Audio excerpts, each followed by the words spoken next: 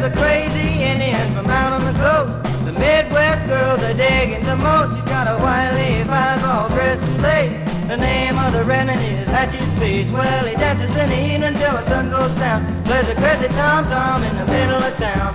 Hatchet Face.